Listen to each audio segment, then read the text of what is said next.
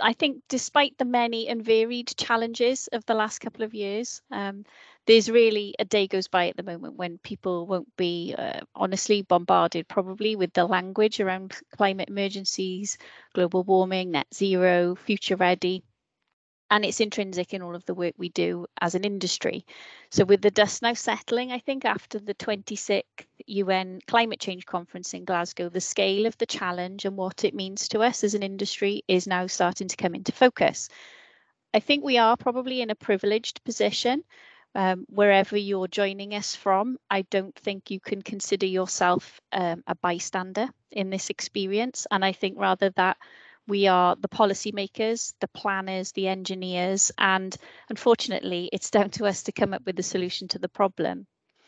Um, given this common endeavour, we wanted to share with you really some of the insight and thinking that we've developed as part of our own net zero journey. Um, we are already supporting local and national government in making the right decisions, I think, to realise a net zero future. So on my next slide, um, we have just a summary here of what we've put together as an agenda for you. It's really a bit of a, a, trot, honestly, through the, the legislation and guidance at the beginning. This is really just offered at a high level, um, but it might prompt you to go away and do some research, find out some more things about some of the things that we talk about in the presentation. And then my colleague Mark Gree has produced a slightly more detailed um, section for the second half of the presentation. And this is likely to be of interest to you as it does contain some really good examples, I think, of how we've decarbonised some of the schemes that we've recently worked on. So let's just start really briefly then with the context as to why we actually need to manage carbon. We've offered up some definitions on some of the terminology um, just flick to the next one for me. So global warming um, is a gradual increase in the overall temperature of the Earth's atmosphere and is generally attributed to the greenhouse effect. This is caused by increased levels of carbon dioxide, CFCs and other pollutants. Probably not news for you there. Climate change I think we're undeniably experiencing a change in global and regional climate patterns, and in particular, we are noticing an apparent change from the mid to late 20th century onwards, and that's attributed largely to the increased levels of atmospheric CO2 produced by the use of fossil fuels. Alongside other debates, um, discussions, agreements, and, and all of the um, um, the effort that goes on in the political sphere. The Paris Agreement, operated by the UN on a five year cycle, stated in 2015 that we should aim to limit global temperature increase by one uh, to 1.5 degrees uh, Celsius above pre-industrial levels in order to really put the brakes on that damaging trajectory of climate change. Was actually signed by 192 countries that represented over 95 of the world's global 95% sorry of the world's global emitters. Now, this event is relevant because it set the legislative framework for much that has followed that point in time. The recognition of the target of 1.5 degrees is discussed commonly in most of the forums that we all attend, and even as recently as Tuesday this week, when Lee Waters um, discussed this at the joint ICE uh, CIHT CILT conference. So we know this is something that affects us and our day-to-day jobs. In 2019, Chris Skidmore, who was the Minister for, um, of State for uh, University Science Research and Innovation signed a law on behalf of the UK to become the first major economy to commit to 2050 net zero emissions targets. But it was Wales's parliament that was actually the first in the world to declare a climate emergency in 2019. So in Wales, the chronology of the policy, for those of you who aren't aware, um, has been that there was a, a, carbon budget one, which was called Prosperity for All. Um, you you can get still get access to it on the Welsh Government website. That was released in 2019. Um, carbon Budget 2, which is called Net Zero Wales, was released in 2021. And th so these carbon budgets are, are re-released to align with um, the new budgetary cycles that happen. Carbon Budget 3 will be published from 2026, etc., etc. Now, all three have staged reduction targets, which we discuss later, but there are also future years targets up to the net zero target at 2050. So at WSP, we had already begun um, to embark on that operational decarbonisation of our services by 2019. Um, we'd been pretty successful in reductions in emissions from things like our offices, um, providing green travel plans for individual staff, our fleet, um, surveying our staff to understand where we should place offices, um, the general use of things like um, paper and printer ink and those sorts of things, and how we provide services to staff in our offices, and how we travel for business, in particular, the use of things like domestic flights. So on the signing of the 2050 agreement, we'd also stated that we would commit to similar reductions. And we know that across our in industry, across our community, um, we we have all obviously signed up to similarly very stretching tar targets for carbon reduction. I wanted to pop a slide in here really to try to um, introduce some of the the terminology um, where you may not you know you may not be familiar with it if you have not used um, this in detail. So this is just a bit of a language buster really. Um, so there are five gases or groups of gases that we know cause global warming. Carbon dioxide is produced when we burn fossil fuels um, through the decaying of uh, waste, through the industrial processes that use natural gas. Um, and CO2 actually makes up 75% of all the greenhouse gas emissions globally. So it is obviously an important one to target. But what I would say is that other greenhouse gases are available and they include methane. Again, comes from fossil fuel use, um, emission from livestock, um, decaying waste, nitrogen oxides. We're familiar with um, NOx and NO2 in Wales. Um, they come from the agricultural sector, emissions from fossil fuels, um, and anything where there is a, a nitrate based um, release of again agriculture is a, is a big emitter of nitrogen oxides. And it's also an, an example of a byproduct in the production of chemicals uh, fluorinated gases. So there's a range of fluorinated gases and you might have maybe in the past heard them referred to as hydrofluorocarbons. So these are used in refrigerants aerosol propellants um, uh, fire retardant materials and things like that. So the gases are actually emitted in the production of them as well as a byproduct from some industrial processes. And then finally, um, water vapour. So water vapour is actually one of the more abundant greenhouse gases. Um, the emission of it, it is not necessarily directly attributed to human activity, but it's increased indirectly by um, you know, by creating a, a, warmer atmosphere. So contrails from aeroplanes are a really good example. Um, contrails are sort of frozen trails that form around soot, which is from the exhaust from aeroplanes. It freezes and it essentially creates a, a man-made cloud that is often too thin to reflect sunlight, but ice crystals inside them can trap heat and hence it forms a blanket in the atmosphere. So the relevance of all these different gases is that emissions in terms of global warming and greenhouse gases are actually measured in a standardized unit of CO2 equivalent. You might see it written as um, CO little 2e um, as a common unit. It's just basically a way of comparing apples with apples across the greenhouse gas world. Um, the quantities of the gases may differ, but actually you can standardize the whole measurement in CO2 equivalent. So when you see uh, that terminology, greenhouse gases or CO2e, they're sometimes used, um, I guess, interchangeably with one another. So this is just um, useful, interesting. I suppose there's probably an awful lot more stuff out there about how you can establish what your carbon impact is from the activities than when we first put this presentation together, which was at the back end of um, last year, really. Um, you can get access to carbon calculators online. Um, a lot of even a lot of banks do them these days. It's worth taking a look to try to understand what impact you have um, on all sorts of things. For example, um, the digitized world. You know, we we we promote online working and and all businesses are all businesses are balancing that at the moment.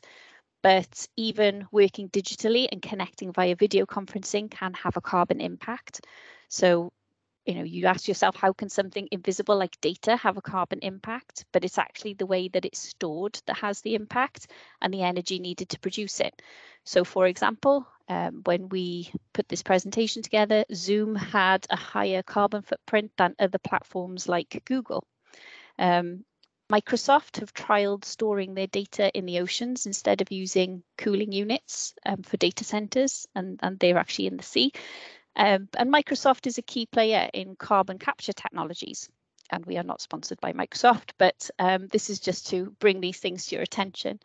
Global wildfires, so obviously the burning of materials releases carbon and the wildfires between September 2019 and February 2020, so it's just before the pandemic, um, they accounted for double that of the UK's entire annual carbon emissions. All of these references are actually taken from a book called Mike Berners-Lee.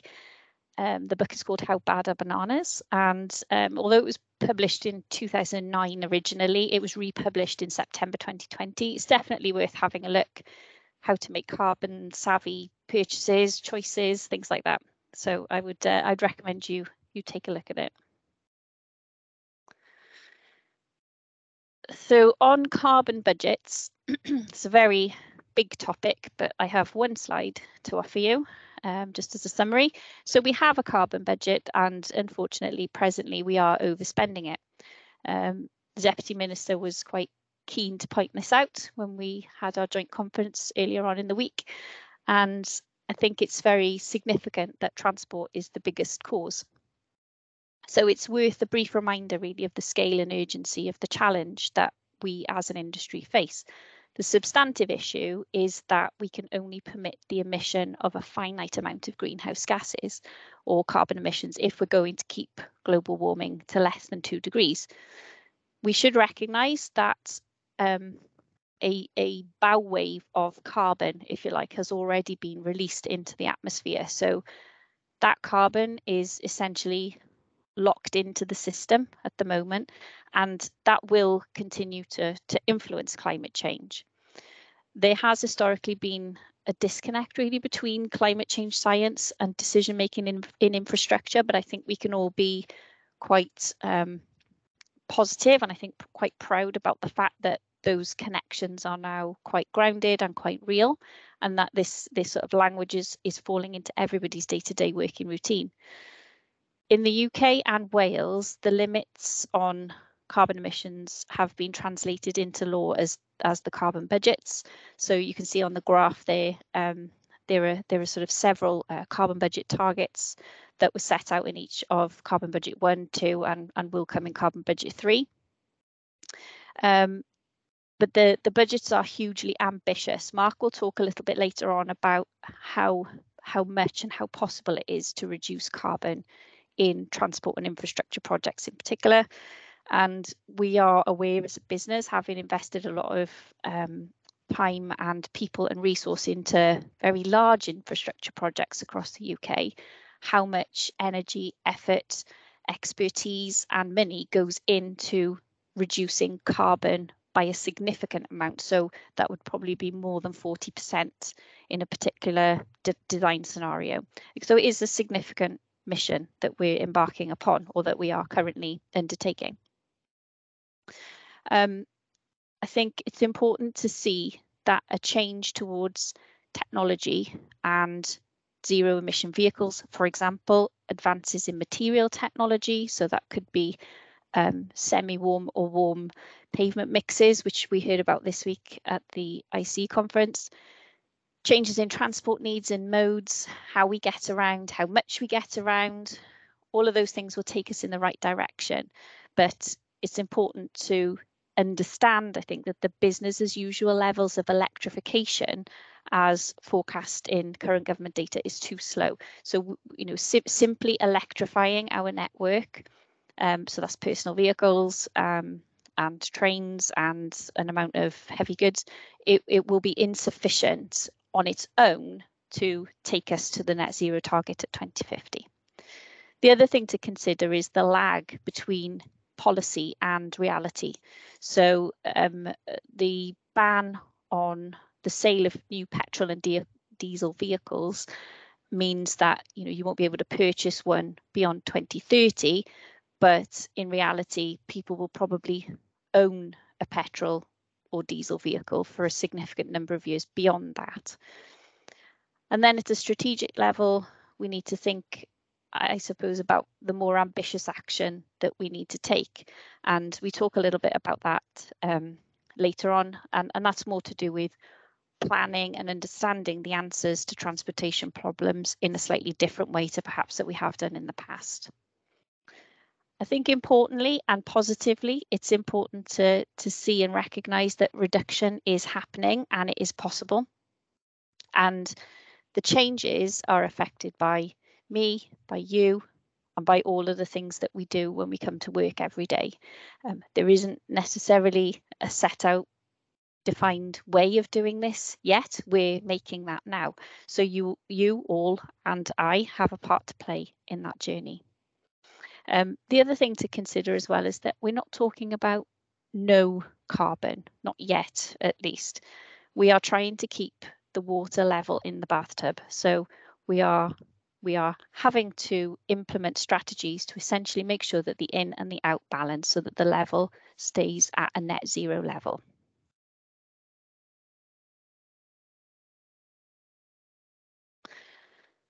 So if we can go on to just really quickly talk about PAS 2080. Um, PAS 2080 was launched in 2016 and it's a global standard for managing infrastructure carbon. Um, it's applicable to any member involved in the delivery of infrastructure, including asset owners, managers, designers, constructors, and, and hence that is why it is relevant to us all. So the PAS is only concerned with greenhouse gas emission, emissions or carbon associated with infrastructure. So that's defined really as transport, energy, waste and um, communications. So it doesn't actually cover buildings. Its scope is primarily concerned with capital carbon and operational carbon and to a lesser extent user carbon. So capital carbon is the greenhouse gas emissions associated with the creation, the refurbishment and end of life treatment of an asset. So for example, embodied carbon within construction materials for a motorway. Operational carbon, so that's the greenhouse gas emissions associated with the operation of infrastructure. So that could be the energy used to power street lighting. The user carbon is the greenhouse gas, gas emissions associated with user um, utilization or uptake of an asset or piece of infrastructure, but during operation. But only the yeah, only the user emissions. So and, and those are the things that you as a an asset owner or manager can actually influence. So there are some other key concepts as part of PAS 2080. Um, early engagement is quite a key one. And I've heard a lot about this over the course of the last week.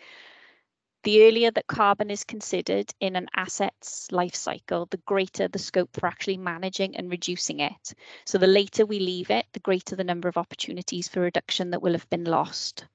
So early involvement might possibly be one of the most important concepts in the PAS because there seems very little point in managing or um, measuring carbon after you've already finished making all your decisions. So I think it's quite important to remember that.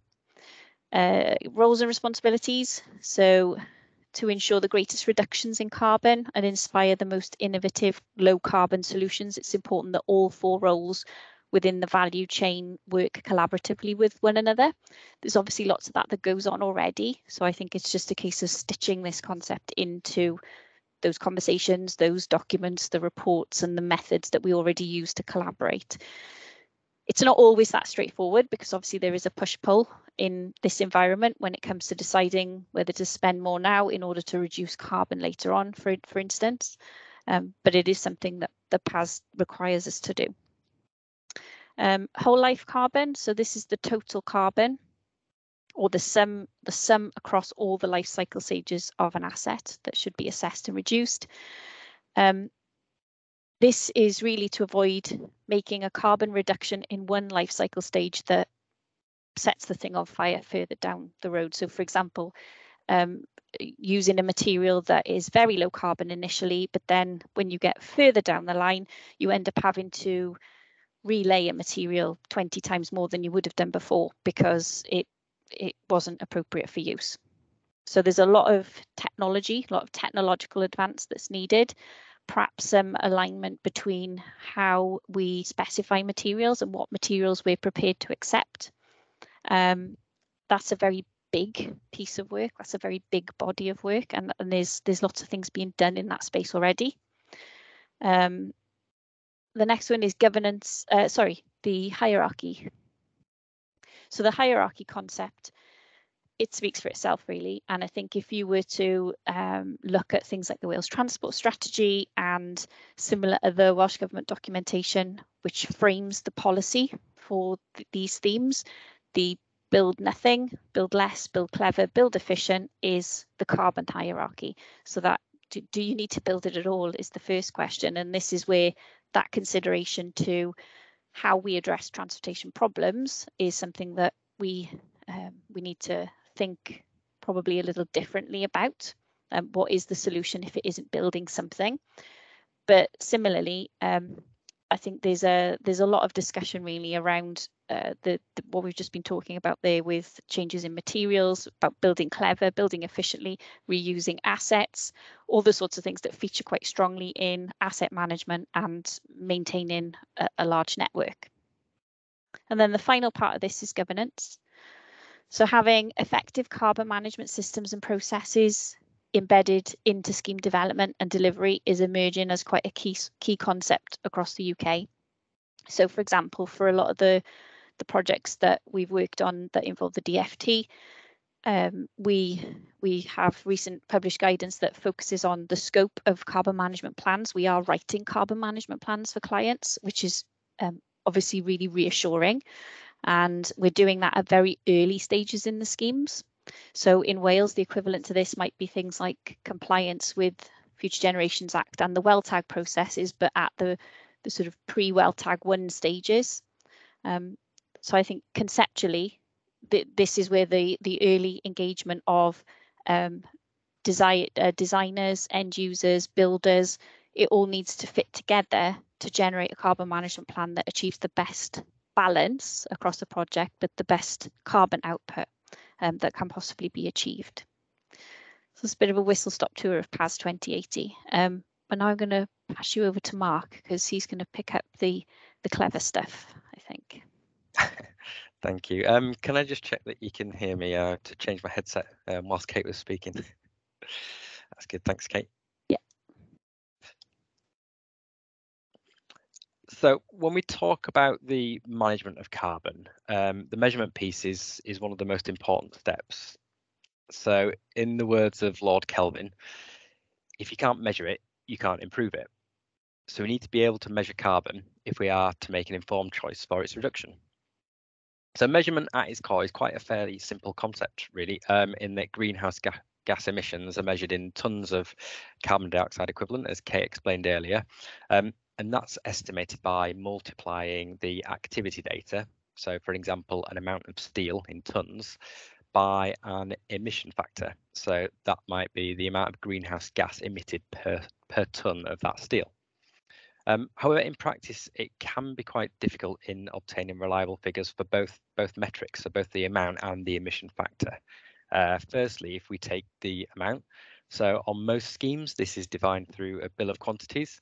Um, but the standard method of measurement doesn't usually translate to a ton or volume of material. So for example, if we were to equate that to uh, a pipe, so the standard method of measurement um, equates that to a per linear meter of installation.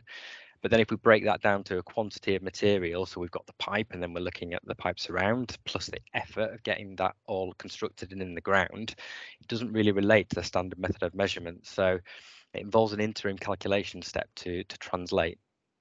Um, and using a bill, of course, is only suitable if that bill is ready at the right time uh, in design to be able to influence change. And it often isn't in, in a project. It often comes much later in the process. Um, so the number of challenges to, to sort of uh, estimating the amount of material within our designs.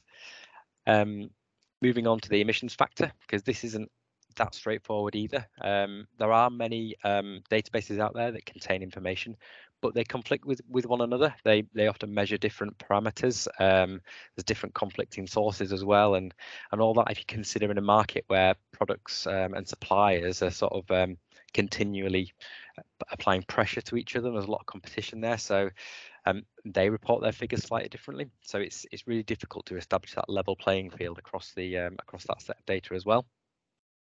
Um, so WSP have, are in the process um, and have developed some various tools um, to capture the carbon and, and measure it.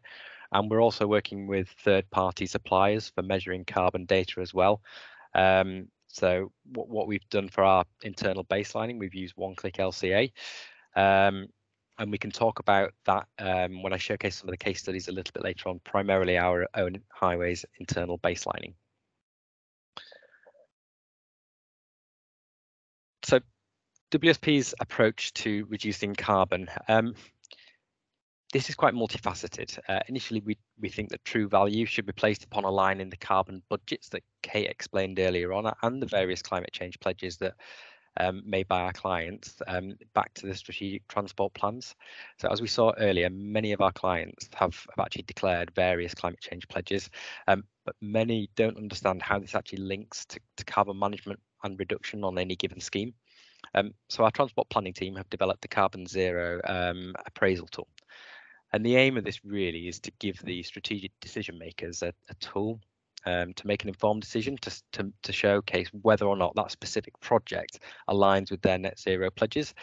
Um, I'm going to showcase a couple of examples a bit later on, but firstly, I'm just going to give an, an overview of its capabilities. Um, firstly, to make that informed decision, we need to understand that the true transport's contribution is a whole life impact. That means understanding both the user emissions as well as the embodied carbon in construction and its operational maintenance. Um, without looking at the user emissions, we might be able to minimize the impacts um, during construction and operation by building efficiently and building with better materials. But we wouldn't be able to maximize the impacts such as modal shifts and it's those impacts that are a direct um, product of the decisions that are made at the various earliest stages of the project. So, Kate explained earlier, getting in there early is, is of vital importance. Um, so, the carbon tool can help us to understand and analyze this, look at the timings of it, um, and make sure that the, the scheme selected um, fits within our policy. Um, and also, it can showcase how we can actually take that through design, set out some steps um, to outline um, how we can reduce it in design uh, as well and how we can actually later construct it. So a key point of this is that timing matters. We need to act quickly now, um, in fact, to be, to be able to deliver the right infrastructure. So as we noted in the budgets earlier, we we are overspending at the minute and we only have a finite amount of carbon left to emit before our bathtub fills up and flows over. Um, and if we are slow to act, we're just going to exhaust all our carbon too soon, um, as early as this decade, in fact. Um, so the investment decisions we make now should should therefore be informed by that urgency to act, as well as an awareness of, of the decisions that we're making and the impact that they're going to have. So we know the fleet's going to decarbonise, but in the 2020s, the vast majority of that fleet is powered by fossil fuels. And so is the energy grid that's used to provide the power for electric vehicles. So avoiding a trip in the 2020s has so much more value than avoiding one in the 2040s. So therefore, we can get, give better carbon savings when they're needed the most. Um, there are also co-benefits of, of, of, shifting car use right now, though. Um, so we see improvements in noise, in air quality, and, and they can also help to free up space um, in our cities so they can be better used for people in, instead of cars. So this does make the 2020s a really uh, a sweet spot for, for interventions that avoid or shift trips.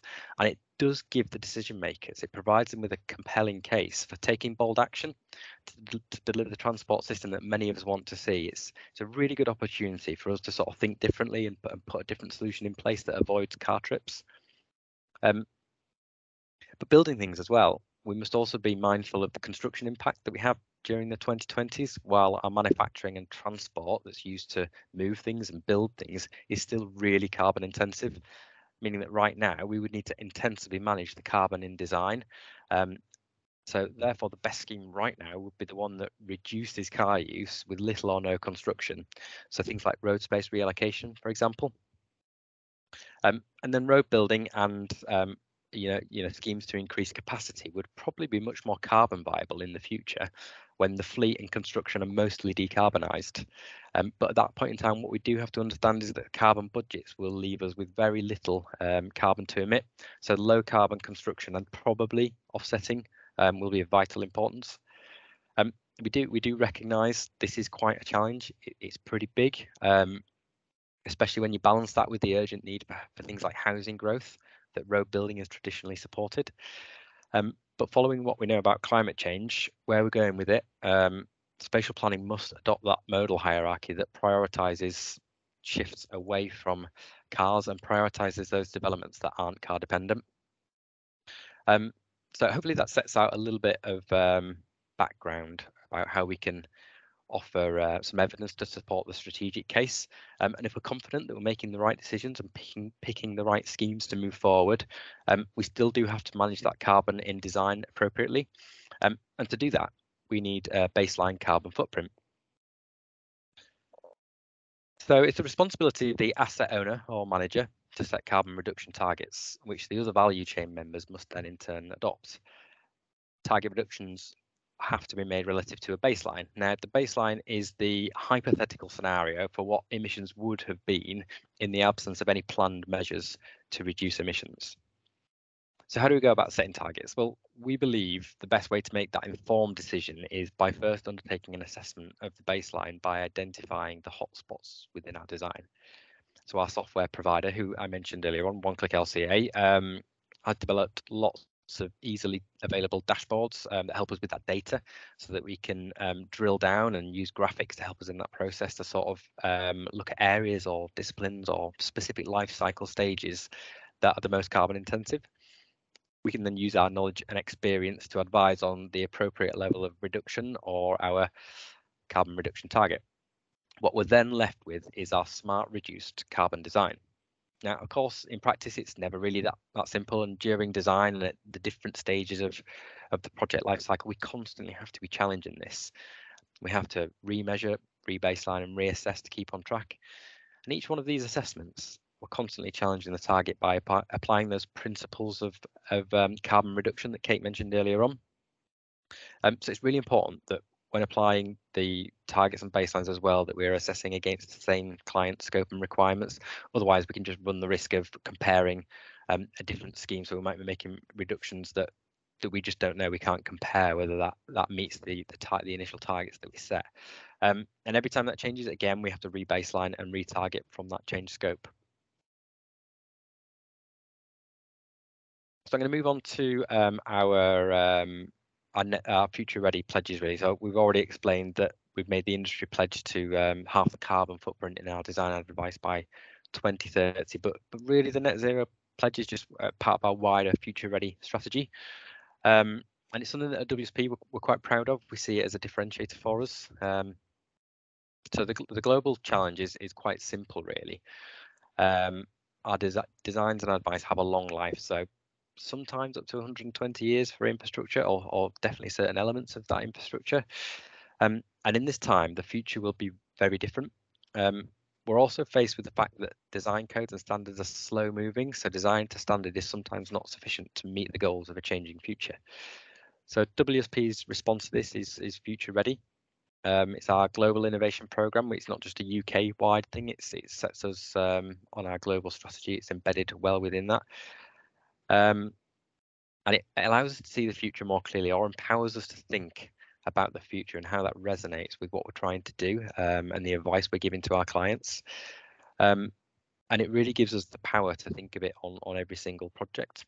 Um, so by truly understanding the trends that Im impact our economy, and the environment and our society, we, we feel that we can develop solutions to meet our clients' interests, future-proof the work we do, and positively impact um, the communities that that we that we live and work in. Um, we're quite proud of the fact that we, we challenge the status quo, challenge those designs and, and, and existing thinking, and we can help societies modernise, excel and thrive sustainably within that. It, it does genuinely give our staff a huge purpose in our role and allows us to shape strong lasting legacies for, for the future generations. So we've got a few case studies and examples that we'd like to share with you uh, today to demonstrate the things that we've been talking about. Um, we'll start with the Glan Conwy interchange. Um, we're going to move on to our work in developing the National Highways Net Zero strategy. Um, I'll then outline a couple of examples of the Carbon Zero appraisal tool that I touched on earlier on.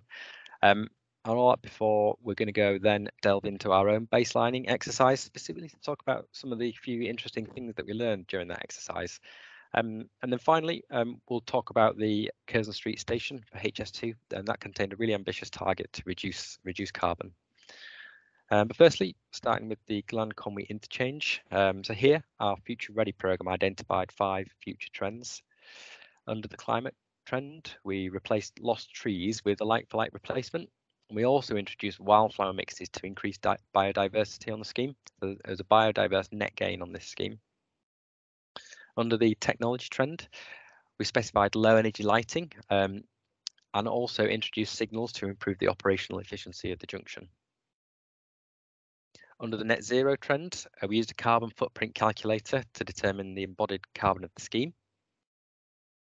Under the resources trend, we looked at uh, asset renewals within the scheme to reduce those uh, the need for future site visits local suppliers were also um, used predominantly during construction, so that was thought about during the specification of our, our design. And then under the society trend, uh, we encouraged modal shift from car journeys to walking and cycling via active travel provision. Um, and this is one that we're, that we're most proud of really uh, uh, in this scheme. And it actually resulted, so we measured the, um, the trips before and after the scheme, and what we found is um, we observed an active travel number increase by 67%. So it was a real, real success for us here. Um, the result of all those those modal shifts was a predicted saving of 479 tons of CO2 equivalent. Um, and again, that was assessed by looking at the embodied construction impact, which was then offset by the user emissions gained through a 60-year appraisal period within that modal shift. Our next project in the spotlight is the National Hero, uh, National Heroes, National Highways Net Zero Strategy. Um, this this one was a major piece of work with us. It, it had future trends at its heart. Um, we we actually demonstrated future ready at the bid stage on this, and by doing so, we were able to convince the client that our solution and market leading expertise were best placed to advise we brought together a team, uh, a collaborative team across WSP, and that was supported by our framework partners, so KPMG, Mott MacDonald, and Ramboll. We listened, collaborated, and engaged deeply across national highways, drawing from you know all the way up to the board and executive committee, down to the the practitioners who would lead um, and implement the, the, plan and run the schemes on the ground. Um, we feel that this collaborative approach helped create a plan which is both ambitious and deliverable, um, and which positions the strategic road network in the in England at the heart of delivering net zero. And to do this, we uncovered three future trends. The first is the technology trend. So we know innovations and price drops will will drive rapid uh, electric vehicle fleet growth, and that's across all forms of transport as well. Um, within the net zero trend, and again underpinned by the Paris Agreement, the UK le legislation will provide the catalyst for change. And then the resources trend, where we know the energy grid will decarbonise, and the largest contributor of the road materials in terms of construction um, and replacement during their service lifetime, um, concrete and asphalt, uh, the, the biggest two there, uh, they'll follow suit. They will decarbonise over the lifetime of schemes. So by showing how the future will innovate fast, we gave the board and the executive committee the confidence to sign up to one of the most ambitious net zero strategies in UK infrastructure today. Uh, the outcome was the 2030, 2040, 2050 plan.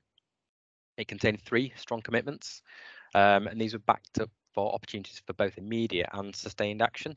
Um, so this includes, firstly, in, in a nutshell, um, deliver in its own operational emissions by 2030. So that's really the energy used to light and power the National Highways network, um, travel by their traffic officers and the energy used in their offices and other travel. Uh, it also includes carbon locked up in trees and plants um, along the motorway verges. Uh, secondly, deliver net zero maintenance and construction by 2040. So this is quite a big one as well. Um, the target covers the greenhouse gases emitted in all the uh, making materials, all the products, getting them to the site, both uh, in construction and replacement of, of, their assets and the operational maintenance. Um, thirdly, and lastly, um, deliver net zero carbon travel on their roads by 2050. Um, the largest source of emissions comes from the vehicles driving on their road network, um, and this is this is a really ambitious target. They're not alone in it, but it's going to require some pretty um, intensive intermediate targets. So, firstly, a 55% reduction in emissions by 2030, and a 90% reduction by 2040. Um, national highways are going to enable that by investing in the infrastructure now. Um, primarily, that that's looking at things like providing enough charging points um, to keep the network charged and operational during that transition. Um, so through the plan, National Highways are now able to to demonstrate that strong leadership, um, but it's backed up by that science-based, robust, and and it's a visionary strategy as well. Um, they've demonstrated what can be achieved in setting an infrastructure um, strategy on what's the biggest um, infrastructure network in the UK. So next, I'm going to look at some examples of the carbon zero appraisal framework, and this this really sets out the, um, I suppose, the case for for making sure and, and, demonstrating that the schemes that we're we're providing do meet our our climate change pledges. Um, I'm going to start with a, a cycle, a cycle scheme.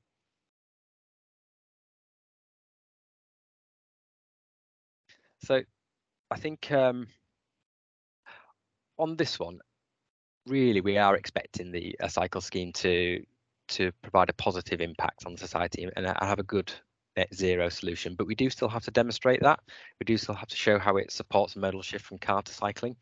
Um, and the the carbon zero tool really helps us out with that. So embodied carbon can because it, sometimes it's not always as um, straightforward as, as it might seem as well. So um, to take this take this scheme here. So particularly from a segregated cycle lane um, with plenty of new surfacing and concrete for curbs can uh, have quite a big big construction impact. So that that kind of offsets the the, the net gain that you, you make from all those modal shifts.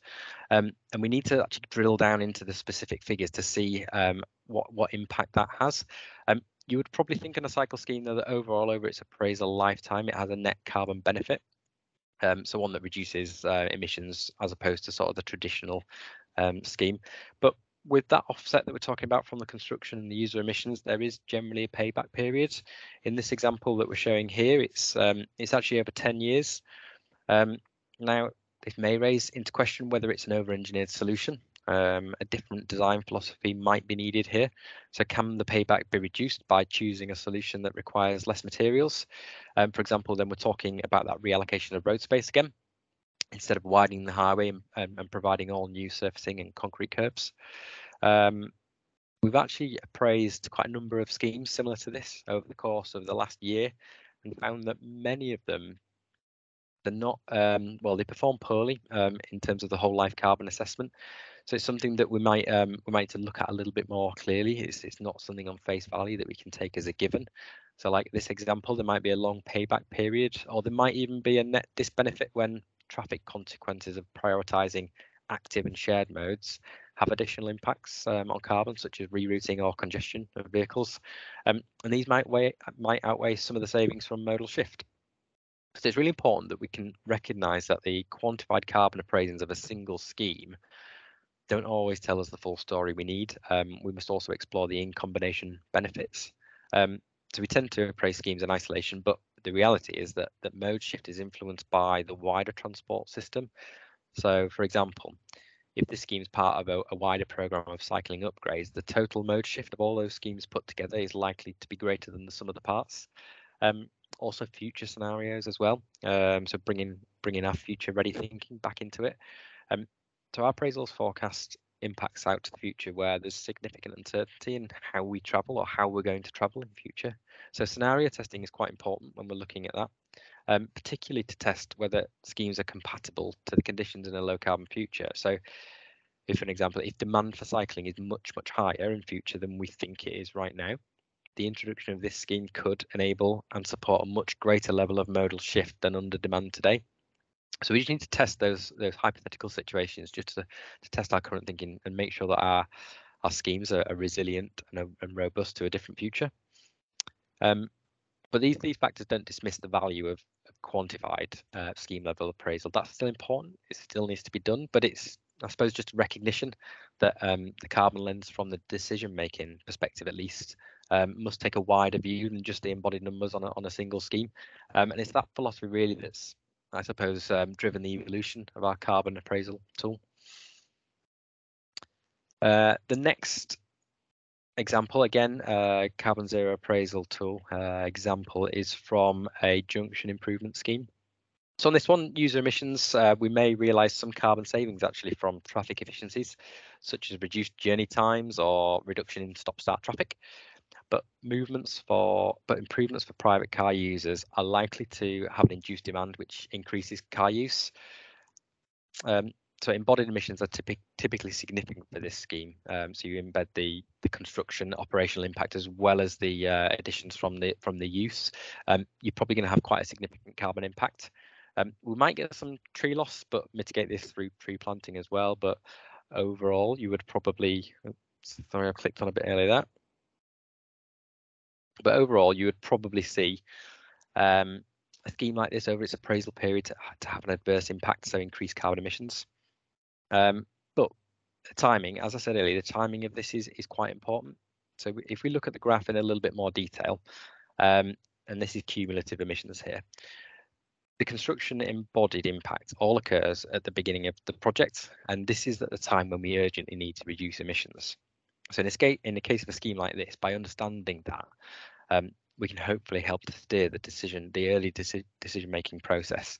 So, and we have to ask ourselves, if this scheme is making car use more attractive and it has a significant carbon impact, is it actually compatible with our decarbonisation commitments or should it be delayed until the construction processes and road vehicles are decarbonised?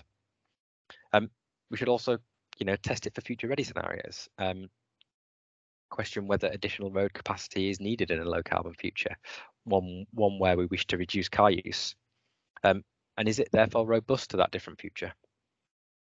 So we're kind of resonating with calls to move away from a predict and provide approach to transport planning, whereby traffic growth is catered for with road capacity, towards one where it's a decide and provide approach. So one where we design a transport network ready for the changes that we want to see happen. But that does take bold action from those decision makers, and, and hopefully, with the tools that we've developed, we can give you that ammunition that you need to be able to demonstrate that. So moving on to our next uh, case study, and this is our own uh, WSP Highways um, carbon baseline. Um, so in order to support our pledge to half the carbon footprint in our designs and advice by 2030, we of course need to establish our own baseline. Um, so we set about measuring that um, within our own projects. So we took we took a sample of projects throughout the UK and devolved nations um, and calculated their embodied carbon. Um, we found out some pretty interesting things with it actually. So I'm going to share some of those things uh, within four metrics that we that we looked at. So the first metric is carbon as a function of million pounds of construction cost. Um, we looked at carbon as a function of infrastructure per linear meter. We looked at carbon as a function of life cycle stage and also carbon as a function of activity or item. Within the carbon as a function of million pound construction cost, we saw that the active travel schemes have much less carbon per uh, million pound than other categories such as the larger you know, dualling schemes, the larger junction improvements. Um, not not anything groundbreaking really. It sort of follows logic convention. Um, but in delving the data in, into the data and understanding this and analyzing it, we we sort of saw that actually, you know, the real value comes from the ownership and application of all this data. So by collating that all, we would be able to advise the client early on um, in the design stage in terms of what to expect for a carbon budget um, as opposed to their monetary budget. So we'd be able to link that up so they can make earlier decisions. Um, so we therefore saw it as being pretty useful in our future metric in our future ready and net zero metrics. Um, and so much so that we are actually actively taking that forward now using the data we've gained to develop our own internal tools that seek to align carbon and cost. Um, we think that efficiency calculations can be made with that as well, and we can better inform clients at that earlier stage. So that's um, a really exciting project for us um, as well. So the next metric, um, this again, we we see this has been really useful, specifically um, at those early stages of the project, um, and it's carbon per infrastructure of uh, linear meter. So we're looking at breaking down carbon numbers per meter of a cycle lane or um, a new a dualing scheme, for example. Um,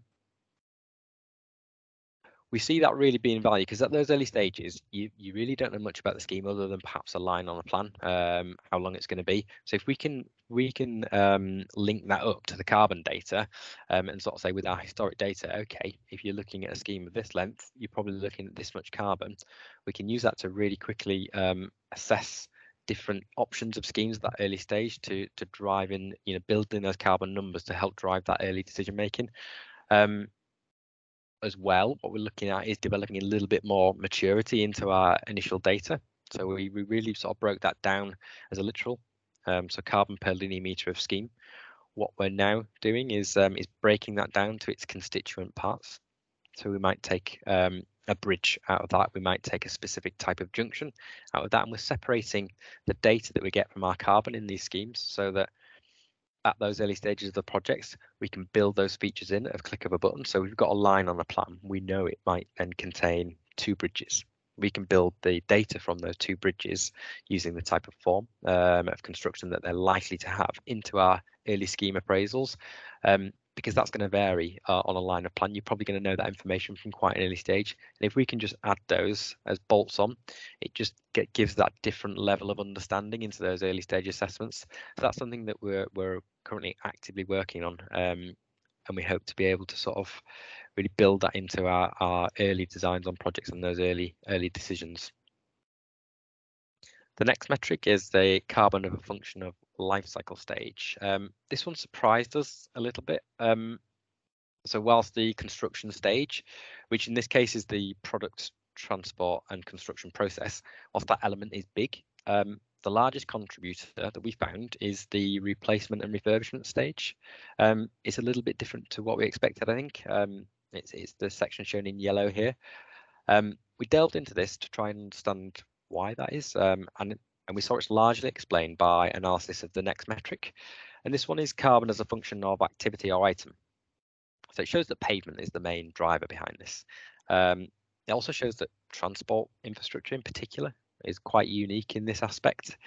Um, and it's caused by the fact that some of the design life of, of elements like the pavements are low. They can be as little sometimes as 20 years um, when compared with the design life of the asset again, that can be up to 120 years. Um, so often, meaning that, that that has to be replaced five or six times um, during its lifetime.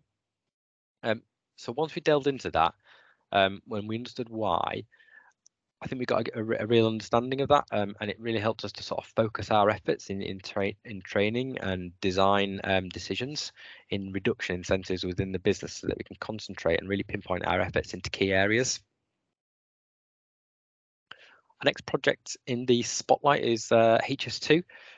So WSP has a major role in HS2, including the design of some of the new stations. Um, this one is Curzon Street Station in Birmingham. It's, it's quite a big piece of infrastructure. Um, and one of its most significant impacts on this one is its um, uh, impact during the construction stage, so the embedded carbon within its construction on operational maintenance. So since February 2018, WSP's carbon experts have worked in close conjunction with HS2 and the Birmingham Curzon Street designers themselves. Um, and that really at the early stages was to agree a clear and justifiable baseline for the scheme. Um, and then that, that's then used to make the savings. So that early collaboration resulted in, I, I suppose it's fair to say, quite ambitious target um, to reduce the carbon by 50% against the baseline. Um, the strategies that that were developed on this one include uh, the use of prefabricated beams rather than in situ pour, the replacement of an aluminium roof with uh, with timber, the use of recycled subbase material, um, the reuse of renewable energy during that construction stage, and also the specification of, of low carbon concrete.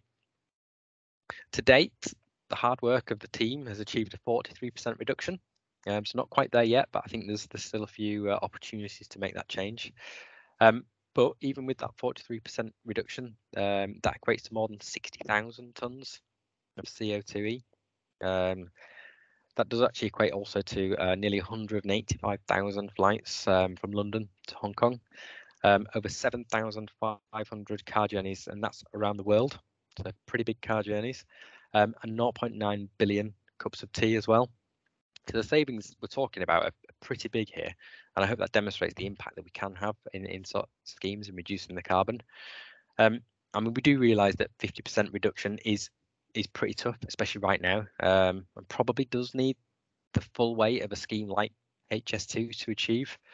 Um, but I suppose I, I, think it demonstrates that while doing those big projects at WSP, we can then share this knowledge with a, a wide range of people that we have, and they work on a wide range of schemes, um, both big and small.